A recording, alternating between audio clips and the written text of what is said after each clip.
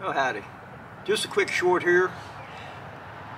Folks have been wondering, I knew I was wondering too, exactly how long the chain on these things lasts before you got to go ahead and swap it out. Well, in the case of my bike,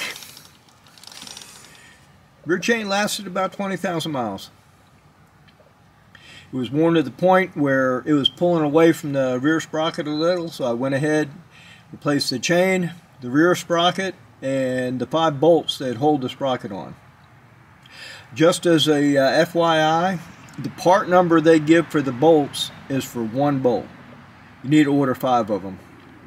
It's been a while since some of these Harley dealers have dealt with chains, so you might want to bring that up to them.